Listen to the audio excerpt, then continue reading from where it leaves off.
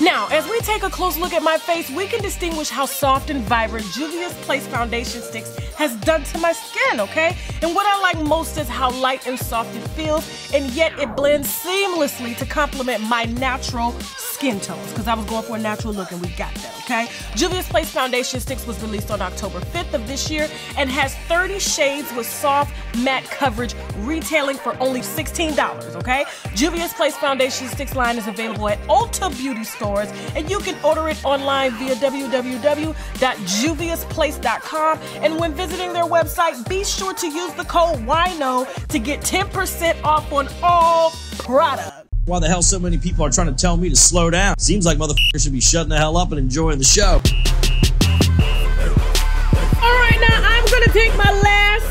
Okay, of this wine because I have to do this very intense commentary that you guys have been waiting for, okay? I've been waiting all this time to expose the savages, but I didn't actually have no receipts, but now I got them, okay? So let me take this sip. Mm-hmm. Mm. And I'm really doing this for Joycelyn.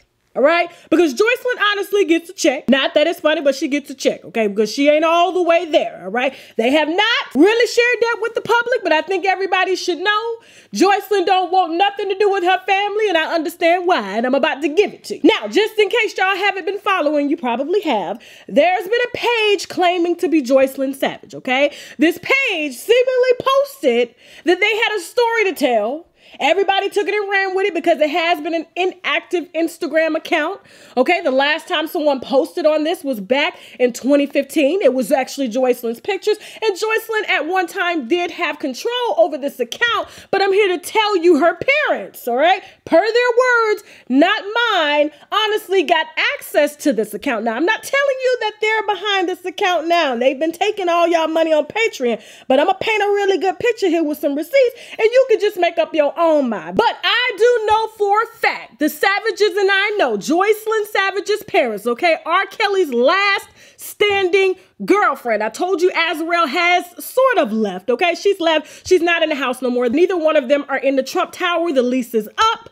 Joycelyn is staying with a woman named Taylor Bird Smith. We actually spoke this morning. I'm not going to be releasing the call unless Joycelyn does not issue a statement stating that that is not her account, that is actually scamming people for money, okay? Telling a fake, very generic ass story. Now, I know that Joycelyn's parents gained access to her iCloud, okay? They gained access to her emails. They were recording her when she was on the phone with R. Kelly, putting out that she may have herpes and STDs. I did take part in that. I have since issued an apology. Now, after I spoke to Taylor, the woman that Joycelyn is with, okay, I told y'all during my live last week that I've gained access to R. Kelly's emails between him and Joycelyn. That's how I found out that Azriel left because she actually emailed R. Kelly and I read some of those emails. And for those of y'all that want to see an actual email, I'm going to link it below using a Google Doc, okay? It's not going to be on my website or anything. You guys are just going to click that link and you'll be able to read the same email that I told y'all about last week on this platform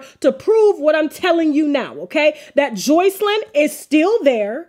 She's now taking control. Actually, Azriel, even though Azriel was with her dad, she's now on her own in her own space. She's now emailing R. Kelly again, but Azriel has always been R. Kelly's favorite and he trusts her, okay? Now, he hasn't added Joycelyn yet to the visitors list. All he has to do is go down there and ask. It's not a big deal. He keeps promising her that he's to do it and you're to see that actually in the email that I have that I'm providing to you all, okay? For those of y'all that have questions, all right, about who has the real wine on this whole R. Kelly shit, okay? I have from the beginning and I'm to keep bringing it to y'all. Now, onto this account claiming to be be Joycelyn Savage. I know for a fact that it's not her. If she has not already released a statement, by the time you're viewing this video now, she is going to release a statement. And if she doesn't, I will release the recording between me and her keeper, Taylor Bird Smith, actually trying to convince her to release a statement, okay? Because I personally feel the reason, before I get into these receipts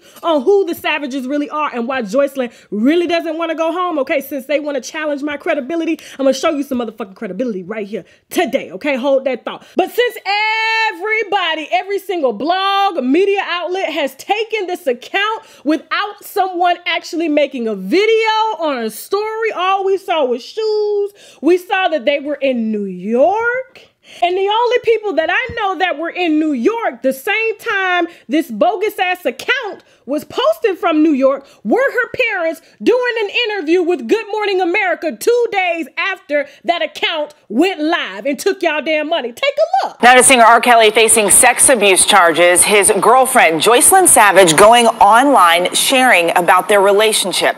ABC's Kaylee Hartung with what she is saying this morning. This morning, a woman known for being one of R. Kelly's girlfriends and publicly defending the disgraced musician, now saying she's one of his victims and ready to reveal her secrets.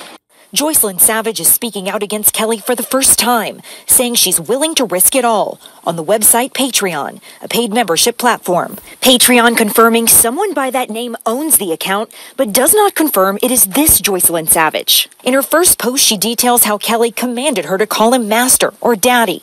While living together, she describes how it started getting worse by day by day and says, as one of his victim, yes, victim, I've seen more and heard more. She's ready to tell the truth. Overnight, in another post on Patreon, Joycelyn writing, he told me I couldn't do certain stuff without him knowing first. It's been nearly three years since Joycelyn's parents last saw their daughter. Joycelyn, now 24, was 19 years old when she moved in with Kelly. The divide in the family growing deeper as her parents alleged Kelly brainwashed Joycelyn and kept her against her will. Claims Joycelyn fiercely denied until now. She's came out with statements that we have been saying for the last two and a half years, and it's pretty accurate. With Robert in jail, does that give you any solace that she is safer than she was before he went to jail?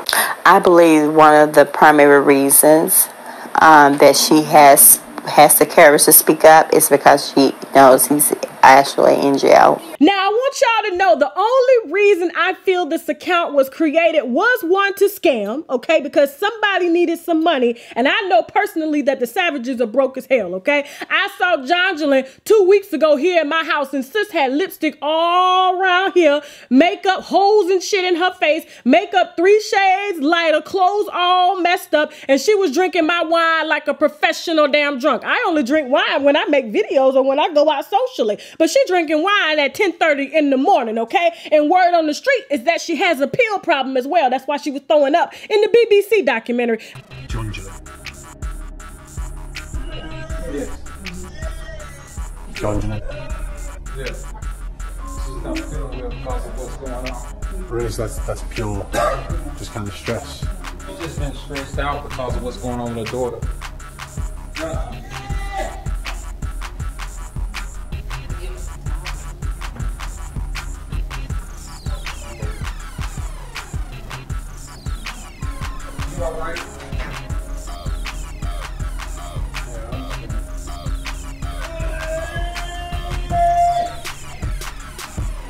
Thank you. What my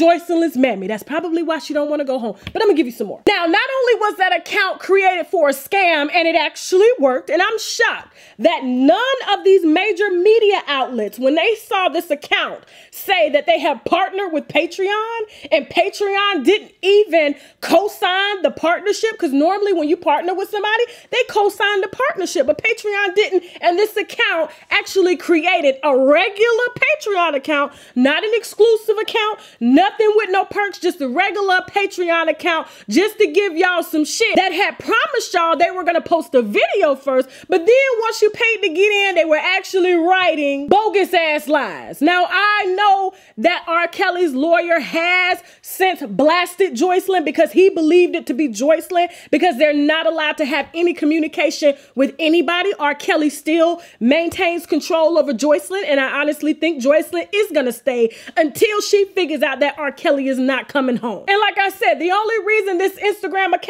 was created was to create friction between Joycelyn and R. Kelly because she cannot go and see him yet because he has not added her to the visitors list. So when the lawyer actually goes to meet with R. Kelly, he tells R. Kelly Joycelyn is online from an account that she once had. But like I said, her parents actually got a hold to her iCloud and got emails and recordings and all kind of stuff on their daughter. Okay. I know for a fact that Tim Savage walks around with a big ass hard drive. It's a big black hard drive full of recordings, ready to record on site. And I don't understand if you're innocent, why are you recording people? Okay. If you have nothing to hide, why are you recording people? Because they're trying to set people up because they have money to make. And I'm gonna prove that here in a second with these damn recordings in Tim's voice. These are exclusive recordings that you're gonna hear first on this channel today. Now, when R. Kelly finds out about Joycelyn supposedly turning on him, which she hasn't, okay, she is riding till the damn wheels fall off. That is valid. The person that created the scam account's intentions were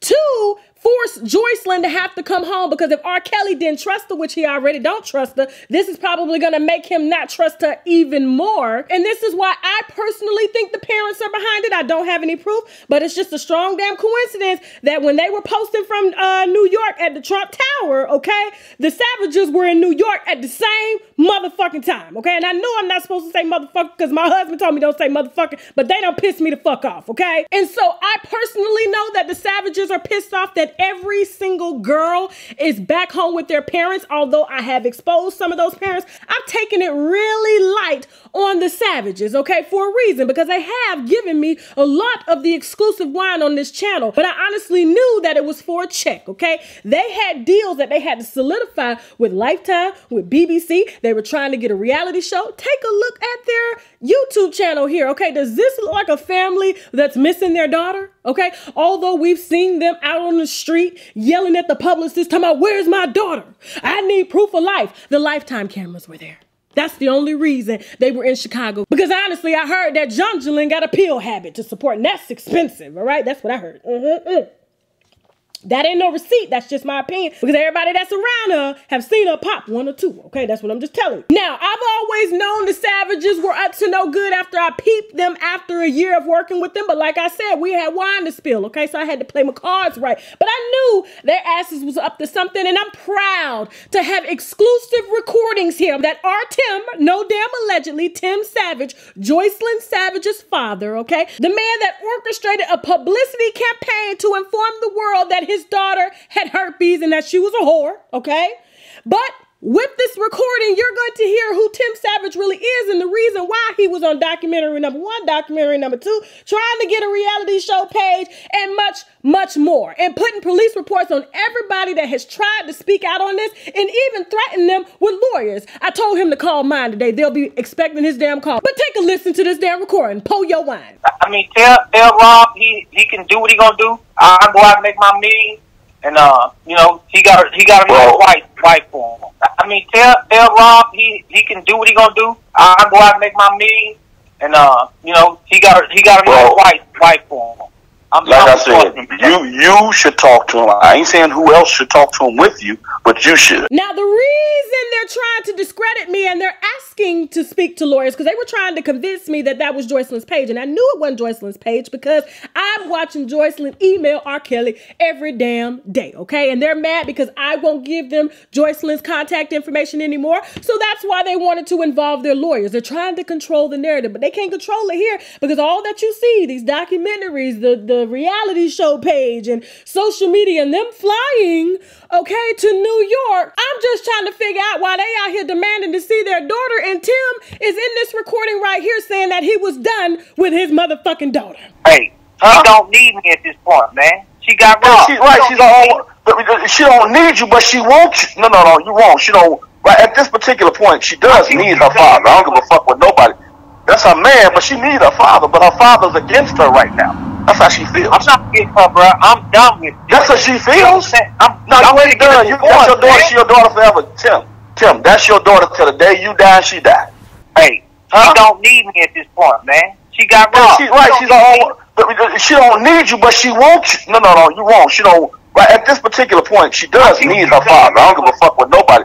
That's her man, but she needs her father. But her father's against her right now. That's how she feels. I'm not getting her, bro. I'm done with this. That's how she feels. I'm, No, I'm you ready ain't to get done. You, that's your daughter. man. She your daughter forever. Tim, Tim, that's your daughter till the day you die. She die. And I'm also surprised that Tim is actually in court trying to prove that R. Kelly's accredited manager, James Mason, threatened to kill him. But I have a recording here of Tim actually threatening to kill a good friend of mine. Take a look at this. No. that Faith needs to get her ass checked. And that's what I'm gonna do. I'm gonna check her motherfucking ass. Okay, I well, I pulled her mama to the side. We was in that goddamn room. And I told her mom, I said, you need to check your daughter. I, I got four hours of motherfucking audio tape and videotape. You need to check that bitch and put her where she belongs. Cause her ass is like a loose cannon right now. Now people end up in boxes when they motherfucking ass like a loose cannon. Cause her ass is like a loose cannon right now. Now people end up in boxes when they motherfucking ass like a loose cannon. Now, I just want you to know that the Savages have honestly burned every bridge that they have, okay? Now, Lifetime is currently filming a documentary involving the parents. Every single parent that's on this documentary has their child, but they don't, okay? And what better way than to create a storyline using this Instagram account because all of that will possibly be put into the documentary, okay? They haven't seen or talked to their daughter since 2016. So it's just mighty strange that Jonjelyn is doing an interview with Good Morning America confirming that that was her damn daughter. I honestly think, yeah, they probably did.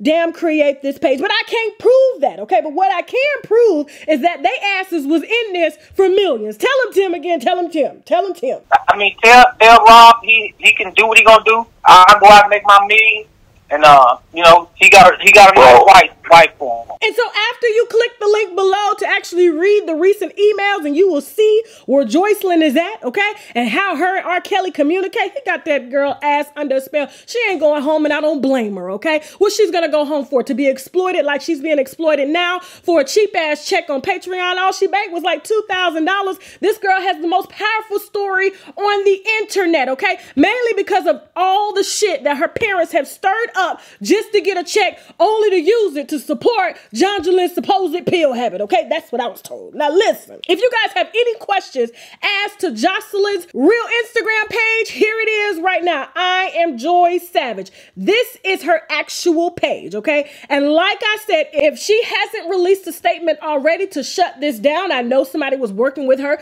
to orchestrate the statement so that this lie would continue to go on. I will personally release what I have to prove that she was not running this Instagram account, even though she probably does have reasons to run it because she's living in a hotel because the lease is up on the Trump Tower. But honestly, R. Kelly got those Kelly sisters, those fake sisters, honestly working at the gas station and Popeyes to make ends meet. They're giving their checks to Taylor and Joycelyn on R. Kelly's behalf because they're honestly just super fans, okay? And really, they should be spending the money on new wigs, okay? That bitch wig sitting right here. Look at the picture. Now, if you also have questions on Azriel's Instagram page, here's the Instagram page right here. This is Azriel's page. It says Azriel Most Wanted, okay? This is her official Instagram page. She's been on Snapchat. That is a verified account. But this is Azriel's page. And like I said, Azriel, yes, she left R. Kelly. Yes, she's communicating with her family. But honestly, her family wants her to be in communication with them.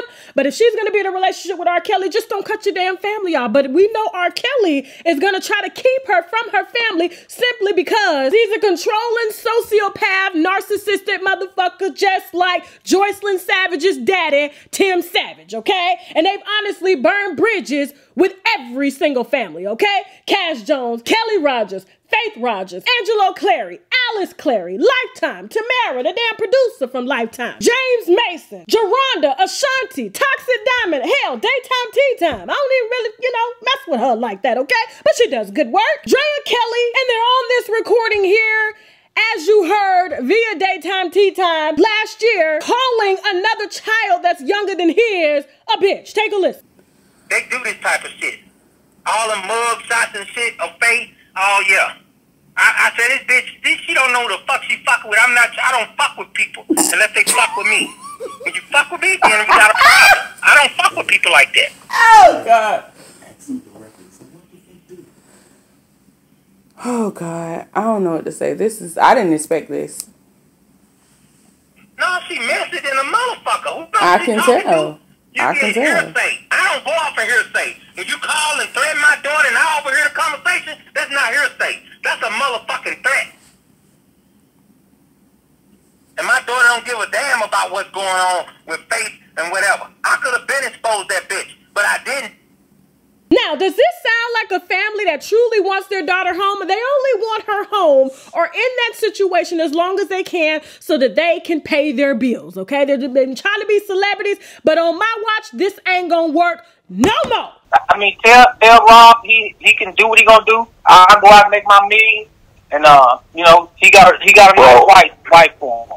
I'm, Like I said, you you should talk to him. I ain't saying who else should talk to him with you, but you should. Hey, she don't need me at this point, man. She got Rob. she, right, she's all, she don't need you, but she wants you. No, no, no, you won't. She don't. Right at this particular point, she does need her father. I don't give a fuck with nobody.